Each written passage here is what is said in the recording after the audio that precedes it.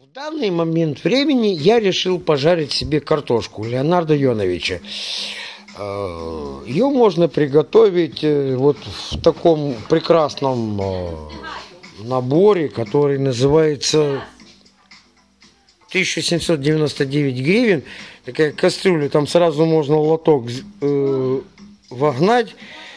Еще подсолнечное масло нужно, картошку, морковку, капусту. Ну, давайте перейдем э, к другому отделу, где можно салфетку купить за рубль 90 гривен. Вы не против? Время пошло. Для того, чтобы знать, что такое сладко, надо и попробовать, что такое горько.